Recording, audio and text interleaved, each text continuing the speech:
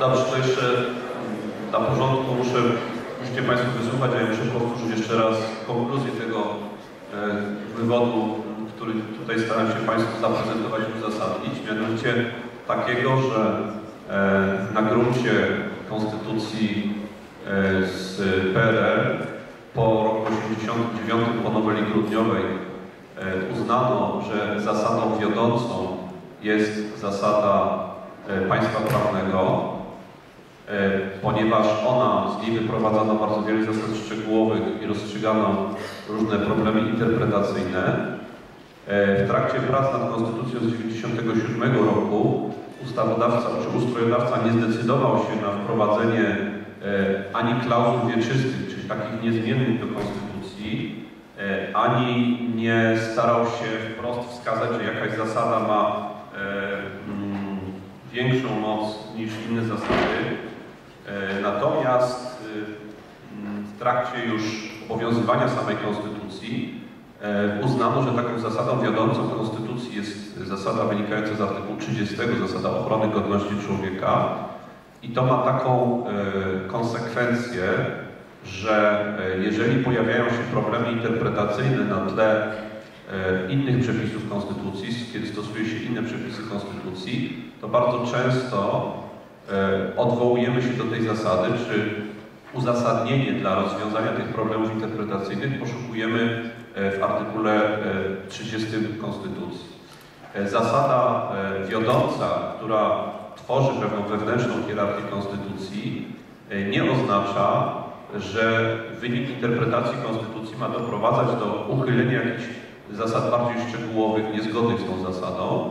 Natomiast założenie racjonalnego ustrojodawcy jest takie, że należy tak interpretować Konstytucję, żeby wszystkie zasady w niej zawarte w pełni harmonijnie starać się pogodzić, e, a w szczególności, żeby ta interpretacja była e, zgodna i czyniła zadość zasadzie ochrony godności człowieka.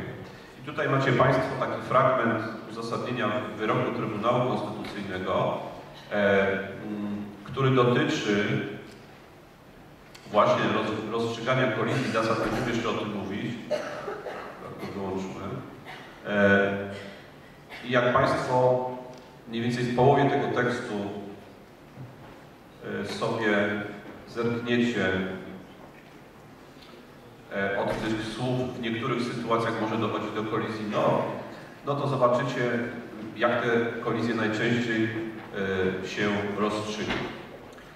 I to tyle, jeżeli chodzi o, e, i to tyle, jeżeli chodzi o konstytucję e, i kwestię jej wewnętrznej hierarchii jej e, przepisów i zasad w tych przepisach wyrażonych. Natomiast teraz jeszcze dwa słowa musimy powiedzieć o problemie hierarchii jakby na zewnątrz konstytucji, czyli na czym polega to, że konstytucja jest hierarchicznie najwyższym aktem prawnym Rzeczpospolitej, o czym mówi artykuł 8 ustęp 1 Konstytucji. Jaka, jakie są konsekwencje tej e, hierarchii, tego, że Konstytucja jest najwyższym e, źródłem prawa?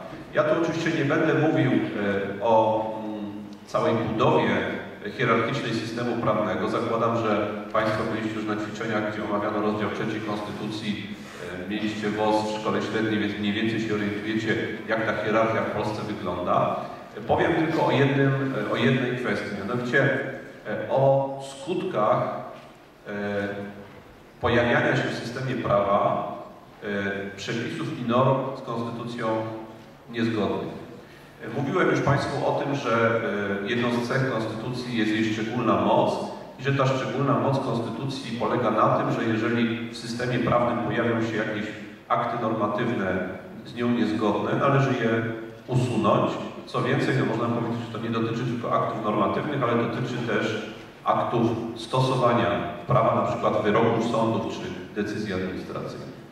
E, Ale sygnalizowałem też Państwu, że e, z tym usuwaniem z systemu nie jest, e, to nie jest taka prosta sprawa.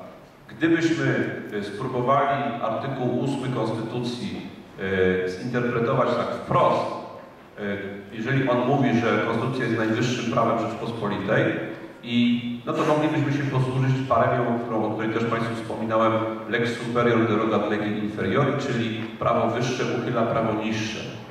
To by oznaczało, że jeżeli w Konstytucji pojawi się jakaś ustawa, jakieś rozporządzenie, czy nawet jakiś wyrok sądu i on jest sprzeczny z Konstytucją, to należy uznać, że on nie obowiązuje, że Konstytucja go automatycznie niejako uchyla, czy taką ustawę uchyla. Problem polega jednak na tym, że w niewielu sytuacjach e, my możemy w sposób taki prosty i bezdyskusyjny stwierdzić, że mamy do czynienia z jakimiś przepisami, które są niezgodne z konstytucją. Takich przypadków jest naprawdę stosunkowo niewiele. Przykładowo e, mamy przepis konstytucji, który mówi tak, że przypadek mienia y, może być, y, przypadek rzeczy może nastąpić tylko w, w przypadkach określonych w ustawie, tylko na podstawie prawomocnego orzeczenia sądu. Artykuł 46 Konstytucji. No więc moglibyśmy powiedzieć tak, że jeżeli w Polsce wprowadzono jakiś przepis, który przewidywałby przepadek mienia nie na podstawie orzeczenia sądu, ale na przykład na podstawie decyzji administracyjnej, to każdy z nas, nawet osoby, które nie mają zielonego pojęcia o e, prawie konstytucyjnym, w stosunkowo prosty sposób mógłby stwierdzić, że ten przepis ustawy jest sprzeczny z konstytucją. E, bo, no bo narusza wyraźną dyspozycję Konstytucji, jednoznaczną dyspozycję.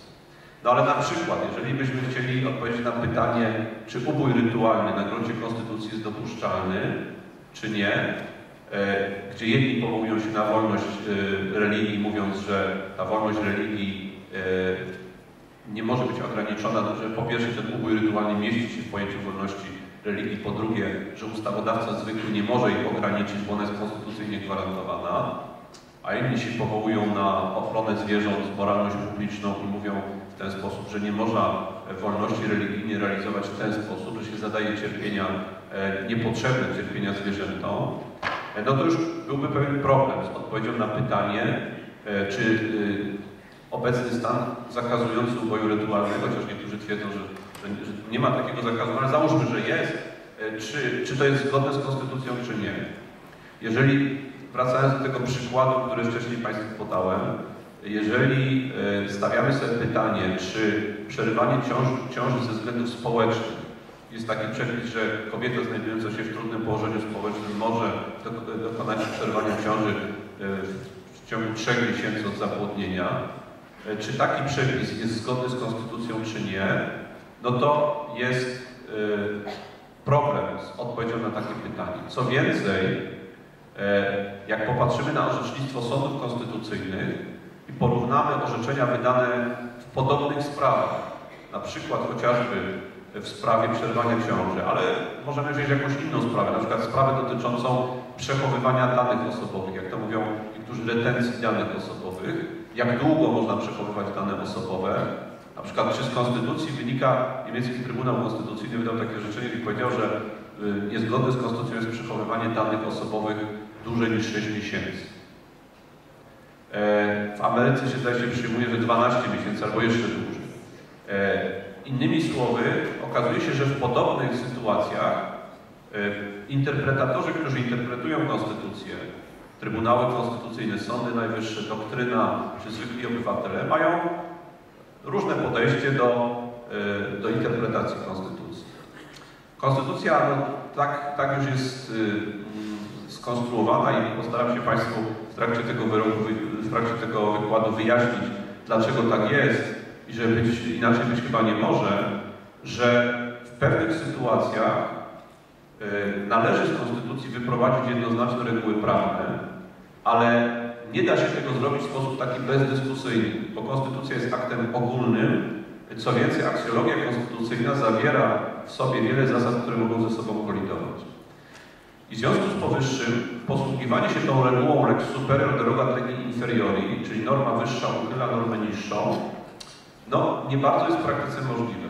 Na to zwrócił uwagę zresztą już e, jeden z twórców Europejskiego Sądownictwa Konstytucyjnego, którego tutaj wspominałem, to znaczy Hans Kelsen, który powiedział w ten sposób, że e, jeżeli przyjmujemy że wszystkie akty prawne mogą, mają być zgodne z Konstytucją.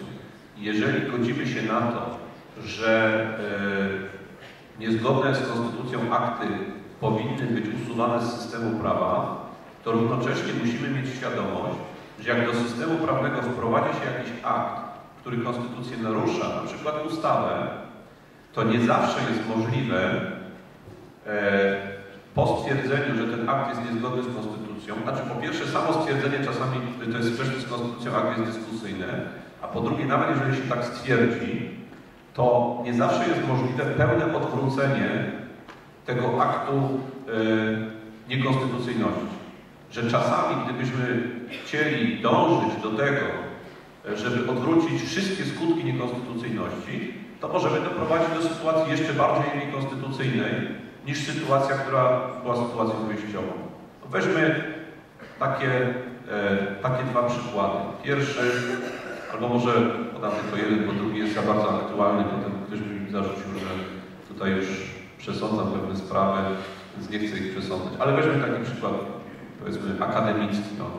Załóżmy taką sytuację, że mamy e, przepisy, które regulują stosunki między właścicielem i najemcą lokalu. No i mamy taką sytuację, że załóżmy wielodzietna rodzina wynajmuje mieszkanie u jakiegoś właściciela. Przepisy są tak e, skonstruowane, że pozwalają temu właścicielowi określić czynsz za ten wynajem na dowolnym poziomie. No i ten właściciel na początek daje, powiedzmy sobie, jakiś taki dosyć niski czynsz, ale potem się orientuje na przykład, że e, no, wynajmuje mieszkanie w atrakcyjnej okolicy, w mieście akademickim, mógłby to mieszkanie wynająć studentom, od każdego studenta, jak z, z każdym zawarł z osobna umowę, za to mieszkanie dostał dużo więcej pieniędzy, w związku z tym podwyższa czynsz tej rodziny.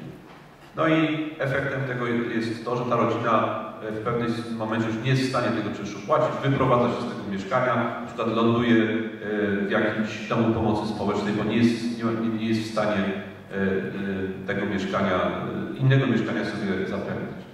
I załóżmy, że Rzecznik Praw Obywatelskich zwraca się do Trybunału Konstytucyjnego z takim pytaniem, czy zgodne z Konstytucją jest regulacja, która pozwala właścicielowi wynajmującemu mieszkanie e, ustanawiać dowolny czynsz.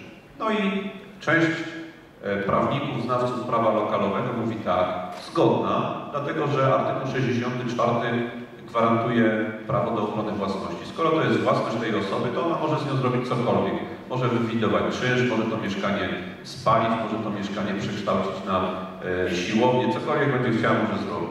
Inni mówią tak, nie jest to dopuszczalne, dlatego że mieszkanie, ochrona lokatorów jest też wartością konstytucyjną. Fakt posiadania mieszkania, nawet jeżeli ktoś nie ma tego mieszkania tytułu prawnego w postaci własności, jest też chroniony konstytucyjnie. I dlatego nie można w sposób dowolny podnosić czynszu, ten, ten czynsz jest ograniczony. W wielu wypadkach jest tak, że właściciel, jeżeli dysponuje swoją własnością, ale ta własność ma istotne znaczenie dla regulowania stosunków społecznych, to państwo ogranicza jego możliwość dysponowania własnością.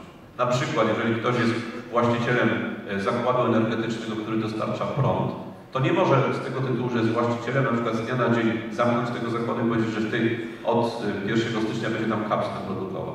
Okazuje się, że ani prawo własności, ani zasada wolności działalności gospodarczej mu takiego, takiej gwarancji nie stwarza. No i załóżmy, że Trybunał Konstytucyjny wydaje orzeczenie, w którym stwierdza, że przepisy e, ustawy e, o ochronie lokatorów, które nie przewidują, e, albo przepisy o, włas o własności lokali, wszystko jedno, przepisy, które nie przewidują, albo przepisy kodeksu cywilnego, które określają zasady naliczania tych czynszów i nie przewidują ograniczania górnych stawek czynszowych w przypadku lokali mieszkalnych, są niezgodne z konstytucją.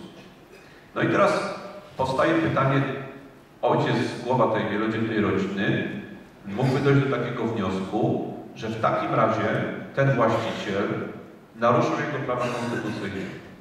E, naruszył nie tylko jego, jego własne, ale również jego rodziny i tak dalej. Co więcej, że ca cała ta rodzina poniosła szkody majątkowe i niemajątkowe w związku z tym, że musiała się wyprowadzić z tego mieszkania. I kieruje powództwo do sądu cywilnego i jako pozwanego wskazuje właściciela i żąda od niego, załóżmy na przykład 300 e, tysięcy złotych z tego tytułu, że poniósł szkody materialne i niematerialne, dzieci musiał przenieść do innej szkoły. No różne, różne tutaj można wskazać e, źródła takiej szkody.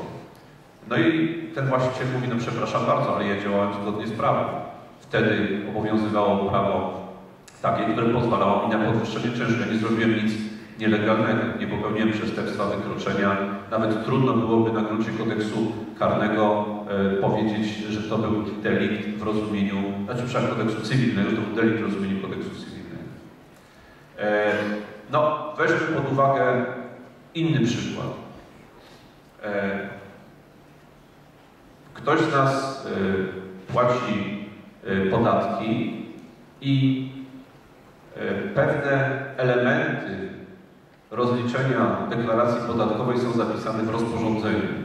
I przez nadzórzmy 5 lat podatek płaci w jakiś tam sposób i e, tą deklarację podatkową wypełnia e, w taki sposób, jak wskazano w rozporządzeniu ministra finansów. Po pięciu latach e, prokurator generalny wnosi do Trybunału Konstytucyjnego wniosek i stwierdza, że e, to rozporządzenie ministra finansów jest niezgodny z artykułem 92 Konstytucji. Dlatego, że artykuł 92, o czym dzisiaj będziemy mówić, mówi, że rozporządzenie może regulować tylko takie sprawy, które wyraźnie w ustawie zostały przewidziane i ustawodawca upoważnił ministra do uregulowania tych spraw w rozporządzeniu. E, no a mm, minister finansów wykroczył poza to upoważnienie. I załóżmy, że Trybunał Konstytucyjny przyznaje rację prokuratorowi i mówi, że rozporządzenie jest niezgodne z ustawą. Teraz na przykład okazuje się, że w tym rozporządzeniu były uregulowane pewne takie kwestie, które pozwalały na korzystanie z ulgi podatkowej.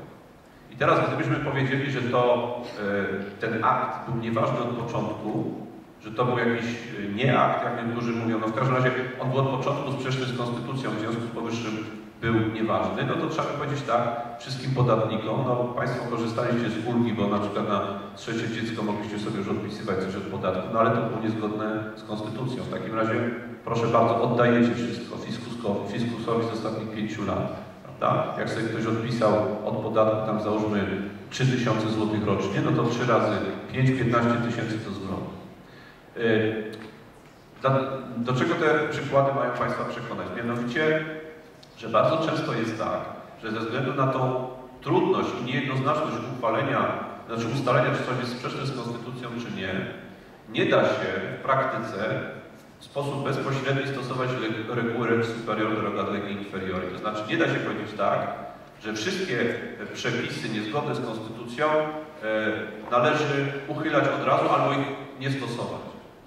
E, I na to zwracał uwagę Kelsen, który właśnie mówił, że takie bezwzględne absolutne stosowanie zasady pierwszeństwa Konstytucji, to, które my mamy w artykule 8 wyrażone, e, może prowadzić do podważenia zasady pewności prawa. E, I że nie może być tak, żeby dążąc do zagwarantowania ochrony Konstytucji, nadrzędności Konstytucji, w praktyce podważymy jedną z fundamentalnych zasad, która też jest zasadą konstytucyjną, zasadę pewności prawa. I dlatego E, zasadę nadrzędności Konstytucji i regułę lex superior derogat legi inferiori trzeba rozumieć nieco inaczej. Gdybyśmy to spróbowali tak lapidarnie przedstawić, to by trzeba powiedzieć tak, że z tej zasady nadrzędności Konstytucji z artykułu 8 nie wynika reguła, że prawo wyższe uchyla prawo niższe, czyli normy konstytucyjne uchylają automatycznie normy niższego rzędu, tylko wynika nieco łagodniejsza reguła. Reguła, która mówi, że prawo niższe nie może uchylać prawa wyższego. Normy niższego rzędu nie mogą uchylać norm konstytucyjnych. E, jak w praktyce ta reguła jest rozumiana? W praktyce ona jest rozumiana w ten sposób, że jeżeli zostanie wydany jakiś akt y, niższej rangi, po na przykładzie ustawy, e, jeżeli y, zostanie wydany akt, y, zostanie wydana ustawa i ona zostanie prawidłowo ogłoszona w Dzienniku Ustaw, to ona się cieszy domniemaniem zgodności z Konstytucją. Zakłada się, że wszystkie ustawy, to się też rozciąga na inne akty prawne typu rozporządzenia, prawo miejscowe, uchwały Rady Ministrów, jeżeli zostaną prawidłowo ogłoszone, e, są zgodne z Konstytucją. Takie jest domniemanie. I to domniemanie jest domniemaniem obalalnym. E, można wykazać, że ustawa jest niezgodna z Konstytucją przed Trybunałem Konstytucyjnym i wtedy, jeżeli Trybunał wydaje wyrok, w którym stwierdza, że ustawa jest zgodna z Konstytucją, ona wtedy zostaje dopiero uchylona. Można przed sądem administracyjnym wykazać, że uchwała Rady Miasta jest niezgodna z Konstytucją i ona wtedy zostaje obalona. Na czym to, na czym to polega? No na przykład weźmy, żeby już cały czas nie odwoływać się do tych Może Państwo czytaliście niedawno, w Warszawie był taki spór yy, dotyczący uchwały Rady Miasta Warszawa, gdzie y, przyjęto takie, takie, w tej uchwale takie rozwiązanie, że w sferze płatnej, w sferze płatnego parkowania, która wygląda tak samo zresztą jak w Krakowie, zresztą ta sama firma obsługuje te parkomaty, jeżeli kierowca nie umieści w widocznym miejscu y, tego dowodu, że opłacił parkowanie, to uznaje się, że tak jakby nie opłacił tego parkowania w ogóle i w związku z tym płaci tam taką opłatę podwyższoną administracyjną. W Krakowie to jest chyba 50 zł czy 100, już nie pamiętam jakoś tam.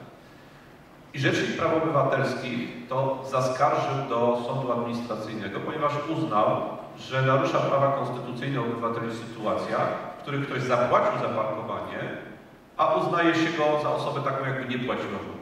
W Krakowie jest to inaczej rozwiązane. W Krakowie, jeżeli ktoś zapłacił, albo ten kwitek gdzieś spadł na przykład, tam nie wiem, po, pod siedzenie, to wtedy może po takim wezwaniu przedstawić ten kwitek i ta opłata jest anulowana. No ale w Warszawie tak nie było. W Warszawie uznawano, że płaci kierowca i tyle.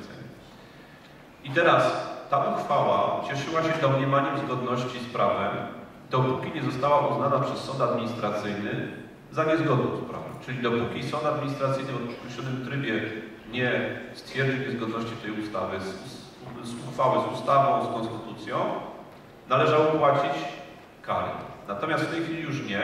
Oczywiście powstaje cały problem, czy indywidualne kary, które nałożono w ten sposób, można teraz y, anulować. To jest inna kwestia. W pewnych sytuacjach można, w innych nie. O tym będziemy dokładnie mówić. Ale generalnie jest tak, że ta zasada y, lex superior derogat lege inferiori nie jest rozumiana również w przypadku konstytucji wprost. To nie jest tak, że konstytucja automatycznie uchyla sprzeczne z nią ustawy czy rozporządzenia, tylko jest rozumiana w ten sposób, że te ustawy, rozporządzenia, akty niższe nie mogą uchylić Konstytucji, natomiast one się cieszą domniemaniem zgodności z Konstytucją, dopóki w określonym trybie nie zostanie stwierdzone, że są z Konstytucją niezgodne.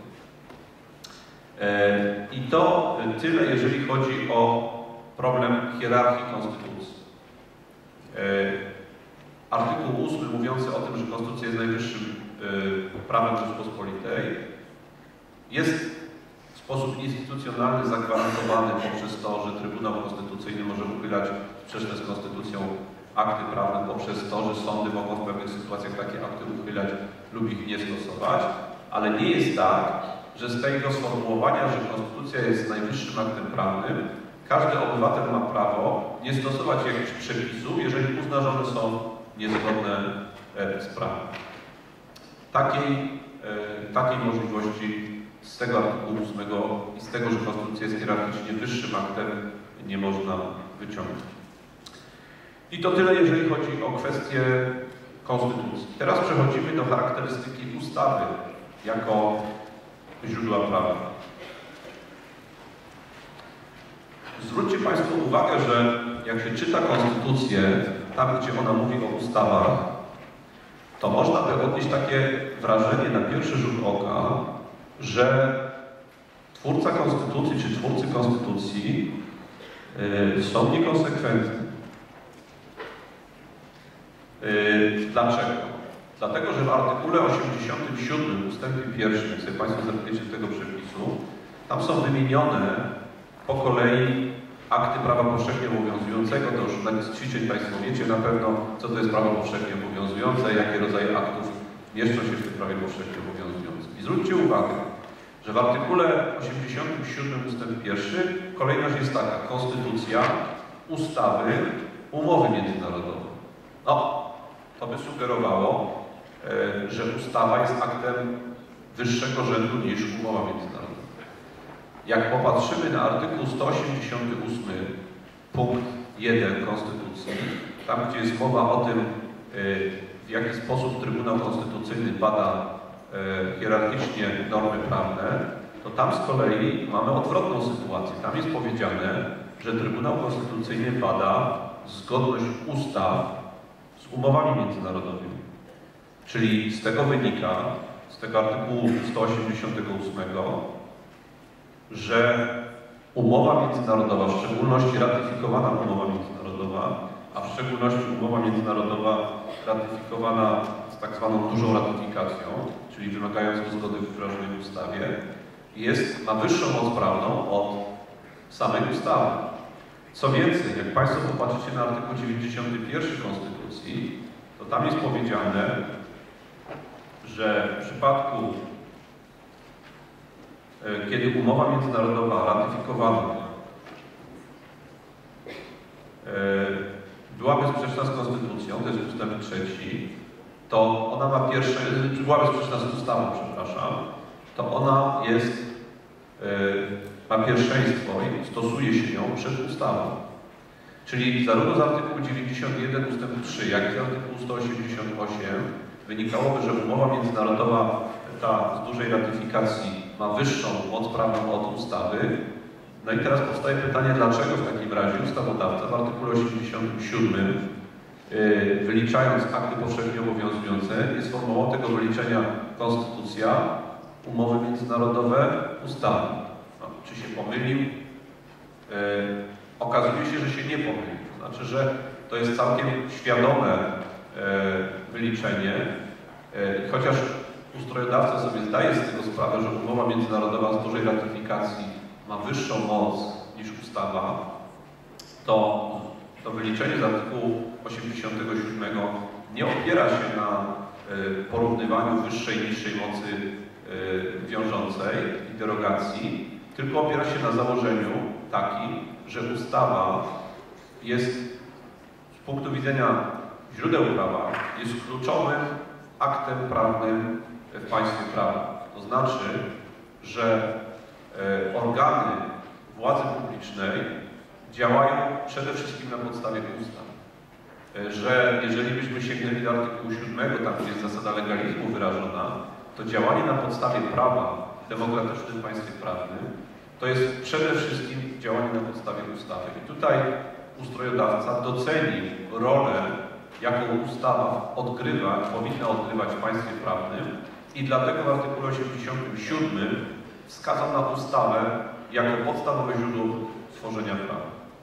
I teraz, żeby uzasadnić tą tezę, że yy, ustawa jest tym podstawowym źródłem prawa, musimy sięgnąć do genezy pojęcia ustawy i powiedzieć kilka słów, jak doszło w ogóle do takiego jak obecnie rozumienia ustawy y, samej Konstytucji. No, obecnie wydaje się to dosyć oczywiste, że ustawa jest aktem generalnym, abstrakcyjnym uchwalany przez Sejm przy udziale Senatu, tak jak nasza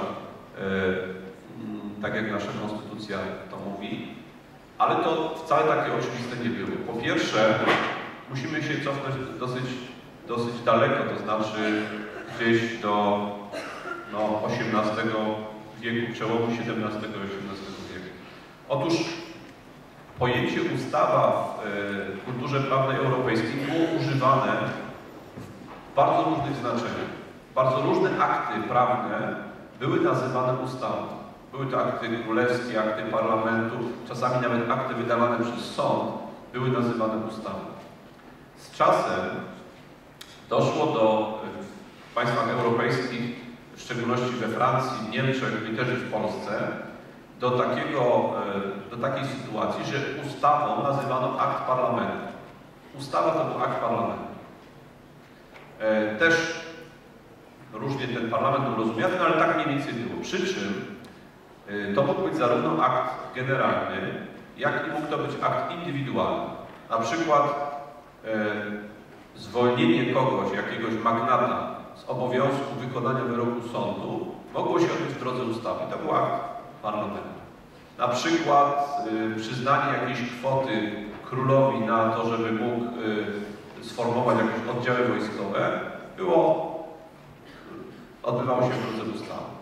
Innymi słowy, przyjmowano takie założenie, że każdy akt parlamentu, parlamentu można nazwać ustawą. To była ustawa w znaczeniu formalnym. Chodziło tylko o formę. Z czasem, e, szczególnie w krajach e, w Europie kontynentalnej, we Francji, w Niemczech, zaczęło się kształtować takie przekonanie, że ustawa to nie jest każdy akt parlamentu, tylko to jest taki akt, który zawiera normy generalno-abstrakcyjne. Czyli nie zawiera konkretnych postanowień, tylko postanowienia generalno-abstrakcyjne. Generalnie określa adresata i abstrakcyjnie opisuje sytuację prawną, z którą ten adresat ma do czynienia. Przykładowo, jeżeli mamy przepis, kto zabija człowieka, podlega karze pozbawienia wolności od lat 8, to tam jest sformułowany zakaz zabijania, adresowany generalnie do wszystkich. Każdy jest adresatem tego, tego zakazu. I abstrakcyjnie jest opisana sytuacja. Zabicie człowieka, niezależnie od tego, czy będzie to zabicie poprzez utopienie, poprzez poderżnięcie gardła, otrucie. Każde zabójstwo jest ujęte w tym przepisie. Czyli jest to norma generalna, bo generalnie określa adresata i abstrakcyjnie. Mniej więcej na przełomie XVIII i XIX wieku w Europie panował już konsens co do tego, że ustawa jest aktem generalno-abstrakcyjnym, aktem parlamentu. I w tym momencie ukształtowało się nowoczesne pojęcie ustawy, y, ustawy w znaczeniu formalnym i równocześnie w znaczeniu materialnym. Ustawa jest aktem e, parlamentu i zawiera generalnie abstrakcyjne normy prawa. Jeżeli są normy generalne abstrakcyjne, ale nie pochodzące od parlamentu, nie mogą być ustawą, na przykład jeżeli rząd uchwala jakieś normy generalne abstrakcyjne, to nie jest to ustawa. I odwrotnie, jeżeli są akty parlamentu, ale nie generalne abstrakcyjne, to też to nie jest ustawa. E, I teraz tak rozumiane pojęcie ustawy w zasadzie y, do dnia dzisiejszego kontynentalnej kulturze prawnej obowiązuje. Również ono dotyczy, dotyczy naszej konstytucji. E, najbardziej ogólnie możemy zdefiniować ustawę jako e, akt parlamentu zawierający normy generalne abstrakcyjne. Od tego jest kilka wyjątków, ale o tym tak. Teraz powstaje pytanie, dlaczego ustawa zrobiła taką karierę w Europie. Dlaczego ustawa stała się tak istotnym aktem, można powiedzieć, najważniejszym źródłem prawa e, w państwach kontynentalnych, tam gdzie mamy e, system prawa stanowionego. Ona nie zrobiła takiej kariery w Wielkiej Brytanii czy w Stanach Zjednoczonych w Europie. Jest aktem o kluczowym znaczeniu do dnia dzisiejszego. Z czego to się wzięło? Otóż, e, no, upraszczając nieco, nie, nie, nie, nie, bo tutaj nie możemy sobie robić wykładu z historii, to Państwo pójdziecie na wykład z historii powszechnej, to pewnie się o tym dowiecie. Można powiedzieć, że były takie dwa kluczowe czynniki, które zadecydowały o tym, że ustawa stała się tym najważniejszym źródłem prawa e, w państwach kontynentalnych. Po pierwsze, e, w okresie monarchii konstytucyjnej, czyli wtedy, kiedy odbierano władzę monarsze absolutnemu, stworzono monarchię konstytucyjną, której podstawowym założeniem było to, że monarcha jest związany prawem, nawet tym prawem, które sam stanowi. Otóż w monarchii konstytucyjnej ustawa stała się głównym źródłem ograniczenia władzy monarszej. E, coraz bardziej legitymowany, e, uprawniony do stanowienia prawa stawał się parlament. E, społeczeństwo postrzegało ten parlament jako organ demokratycznie wybrany i dzięki temu, że parlament uchwalał ustawy, którymi był związany monarcha, mógł ograniczać tę władzę monarszą.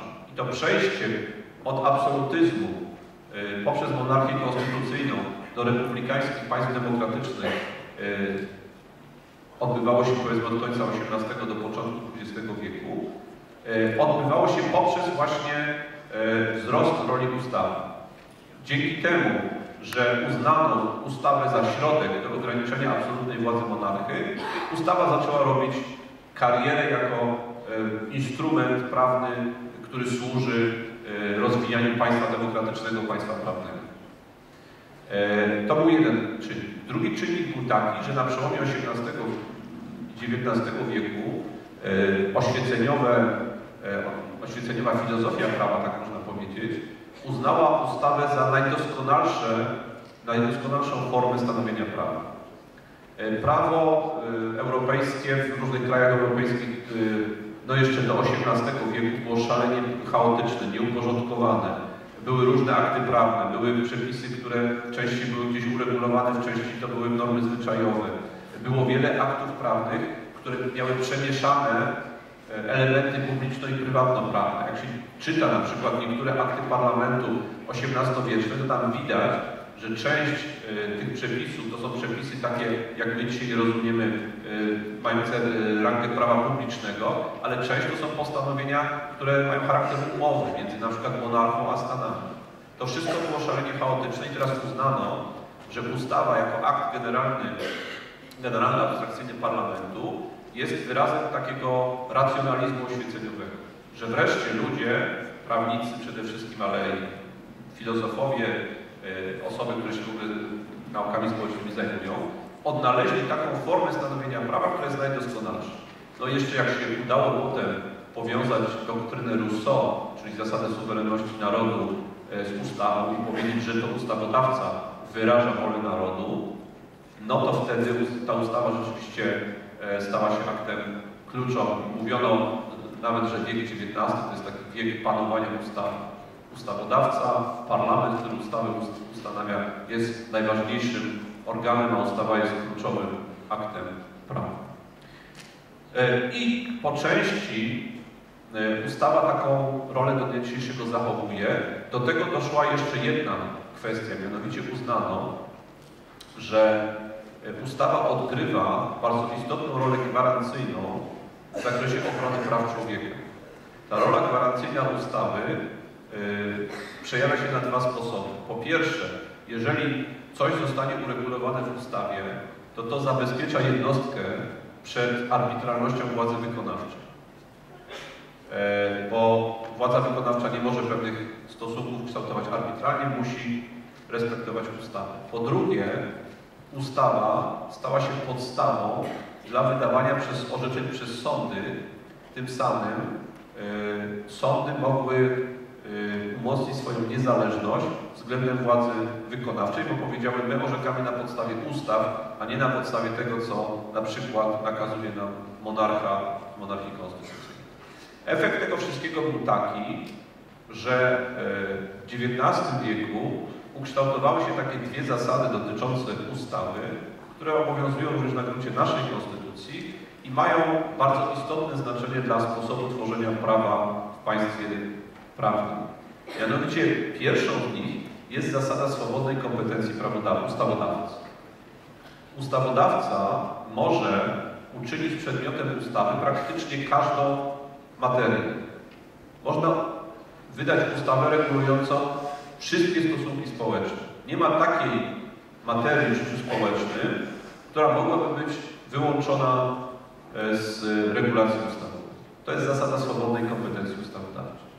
Ta zasada swobodnej kompetencji ustawodawczej oznacza, e, że też, że ustawodawca jest co do zasady nieograniczony. On może swobodnie kształtować stosunki społeczne poprzez wydawanie ustaw. No, później jak zaczęto przyjmować, że konstytucja ma wiążący charakter, to jednak nałożono na ustawodawcę pewne ograniczenia, o tym, e, o tym będziemy jeszcze mówić, ale generalnie e, dalej ta zasada obowiązuje. Zwróćcie Państwo uwagę, jak e, będziecie czytać jakieś akty prawne, jak wygląda podstawa prawna ustawy, a jak wygląda podstawa prawna na przykład rozporządzenia albo uchwały Rady Miasta. Możecie wejść do internetu jakąkolwiek ustawę czy jakiekolwiek rozporządzenie sobie znaleźć. Ustawa nigdy nie, nie podaje, uchwalając ustawę Sejm, nigdy nie podaje żadnej szczegółowej podstawy prawnej. Podstawą uchwalania ustaw jest zasada swobodnej kompetencji prawodawczej, wynikająca z przede wszystkim z artykułu 4. W Sejmie zasiadają przedstawiciele narodu, oni mają ogólną kompetencję do stanowienia ustaw. Mogą wydać ustawy o ochronie przyrody, mogą wydać ustawy o szkolnictwie wyższym, o sądach. Wszystko jedno. Nie, nie muszą e, z Konstytucji wywodzić żadnego szczegółowego upoważnienia że mają prawo na przykład uregulować w drodze ustawy status sądu. Natomiast jak Państwo sięgniecie do rozporządzenia, to każde rozporządzenie wydane przez rząd, przez premiera czy przez ministrów zaczyna się od podania podstawy prawnej. Musi mieć szczegółową podstawę, dlaczego, kto upoważnił e, ministra do wydania rozporządzenia. Jak sięgniecie do uchwały Rady Miasta, chociażby tej uchwały dotyczącej opłat za parkowanie w centrum, to ona również, ją można również wydać tylko wtedy, jeżeli istnieje szczegółowa podstawa prawna do wydania takiej uchwały. E, Rada Gminy czy Rada Miasta Krakowa, chociaż Kraków jest stołeczno-królewskim miastem, też nie ma prawa do wydawania takich uchwał w każdej dowolnej sprawie. Jak sięgniemy do innych aktów prawnych, nawet do indywidualnych, na przykład do wyroku sądu czy do decyzji administracyjnej, one wszystkie muszą mieć szczegółowe upoważnienia. Jedynym aktem prawnym, który takiego upoważnienia szczegółowego nie musi mieć, jest ustawa. Bo to wynika z zasady swobodnej kompetencji prawodawczej. Oczywiście założenie jest takie, że ustawodawca korzysta z tej swobodnej kompetencji prawodawczej w granicach wskazanych w Konstytucji. Czyli jak Konstytucja na przykład mówi, że przepadek e, mienia może być dokonany tylko przez sąd, artykuł 46, no to nie można wydać ustawy, w której e, powie się, że przepadek mienia następuje na mocy decyzji organu celnego. To jest jedna zasada, zasada swobodnej kompetencji prawodawczej. Jest też druga zasada dotycząca ustawy, równie ważna, tak zwana zasada wyłączności ustawowej. Zasada wyłączności ustawowej oznacza, że pewne materie mogą być uregulowane tylko w ustawie albo mogą być uregulowane e, w aktach wykonawczych stanowionych na podstawie ustaw. Przy czym założenie jest takie, że na, jeżeli regulujemy coś na podstawie ustawy, w drodze rozporządzenia na przykład, to można przekazać do tego rozporządzenia tylko kwestie mniej istotne. Natomiast Konstytucja e, w stosunku do wielu materii, na przykład do ograniczania praw człowieka, formułuje taki wymóg, że to są materie, które muszą być uregulowane w drodze ustawy. Jeżeli byłoby to uregulowane w aktach niższego rzędu, byłoby to niezgodne z Konstytucją. Przykładowo, e, jeżeli mamy zasadę z artykułu 42 nullum crimen sine lege, czyli nie ma przestępstwa bez ustawy. Przestępstwo musi być opisane w ustawie. E, no to z tego wynika, że elementy tego przestępstwa muszą być zdefiniowane w ustawie, a nie w jakichś aktach niższego rzędu. No, jakiś przykład bardziej aktualny. Ostatnio, w jakiś taki weekend, media donosiły, że yy, pijani kierowcy, pijani rowerzyści mogą nieco odetchnąć, dlatego że do tej pory kierowanie rowerem pod wpływem alkoholu było przestępstwem, było w kodeksie karnym penalizowane. Czyli pamiętam artykuł 178a to było właśnie przepis, który zakazywał jazdy y, rowerem pod wpływem alkoholu. Natomiast w tej chwili znowelizowano kodeks karny, prezydent podpisał tą nowelizację. To już nie jest przestępstwo, tylko to jest wykroczenie, co ma oczywiście tą konsekwencję, że prawdopodobnie rowerzyści pijani nie będą wsadzani do więzień, no bo się okazało, że już tylu pijanych wsadzono, że już nie ma dla nich miejsc. Co więcej, że ci, którzy wychodzą, ponieważ są najczęściej alkoholikami, natychmiast ponownie lądują w tych więzieniach za jazdę po pijanemu że te kary w ogóle nie działają. Ale do czego zmierzam? Że taka zmiana prawa, że przestępstwo, gdzie zakazuje się jazdy, y, jazdy rowerem po pijanemu, jeżeli przestaje być przestępstwem, a staje się wykroczeniem, może być uregulowana tylko w drodze ustawy, bo to jest y, materia wyłączności ustawowej. Y, I różnie w różnych krajach europejskich to jest uregulowane, ale w większości krajów jest tak, taka ogólna reguła, że kwestie istotne, fundamentalne, albo z punktu widzenia ochrony praw obywatelskich, albo z punktu widzenia ustroju państwa, muszą być uregulowane w drodze ustawy, czyli w akcie wydanym przez parlament, mającym charakter generalno-abstrakcyjny. I teraz jak Państwo sięgniecie do naszej konstytucji, to odnajdziecie bardzo wiele przepisów, które mówią, że coś musi być uregulowane w drodze ustawy, że coś można zrobić tylko na podstawie ustawy. Ja tu nie będę Państwu wymieniał, ale w szczególności w rozdziale drugim dotyczącym praw człowieka, jest bardzo wiele takich przepisów, które odsyłają do ustawy. I to jest zasada wyłączności ustawowej. Ustawodawca jest tym jedynym organem, który może uregulować coś w drodze ustawy. E, Natomiast, jeżeli to są materie mniej istotne, to zgodnie z artykułem 92 Konstytucji takie materie mniej istotne mogą być uregulowane w rozporządzeniu, ale zobaczcie sobie Państwo do artykułu 92, że tam e, Konstytucja określa w sposób dosyć rygorystyczny, jak ma wyglądać takie upoważnienie, które sam ustawodawca e, opracowuje, formułuje, jak to ma wyglądać względem e, tego, co może być w rozporządzeniu. Po pierwsze, e, są enumeratywnie wymienione w Konstytucji organy, które mogą wydawać rozporządzenie. Po drugie, upoważnienie musi wskazywać cel e, wydania takiego rozporządzenia. Po trzecie, musi takie upoważnienie zawierać wytyczne. Oczywiście jest bardzo dużo orzeczeń Trybunału Konstytucyjnego, które interpretują ten artykuł 192, ale generalne założenie jest takie, że ten organ, który minister na przykład na podstawie ustawy wydaje rozporządzenie, e, no, e, jest bardzo skrępowany tym upoważnieniem. Nie może wyjść ponad to upoważnienie, nie może wydać go w innym celu niż wskazane w ustawie, nie może wreszcie lekceważyć tych wytycznych, które są w rozporządzeniu sformułowane.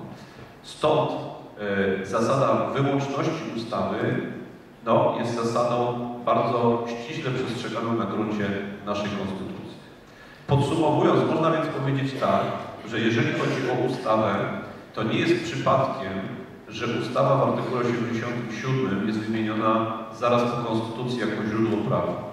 Ustawa w państwie prawnym ma kluczowe znaczenie e, dla e, stanowienia prawa. To kluczowe znaczenie ustawy w stosunku do wszystkich innych źródeł prawa opiera się przede wszystkim na dwóch zasadach szczegółowych.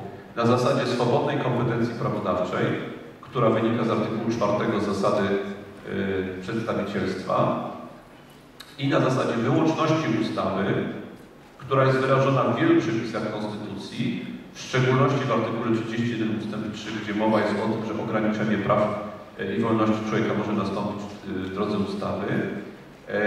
I ta zasada wyłączności ustawy oznacza, że materie istotne z punktu widzenia Konstytucji muszą być regulowane tylko w ustawie, a materie mniej istotne mogą być regulowane w drodze rozporządzenia, ale przy zachowaniu dosyć rygorystycznych warunków wymienionych w artykule 92 ust. 1 Konstytucji.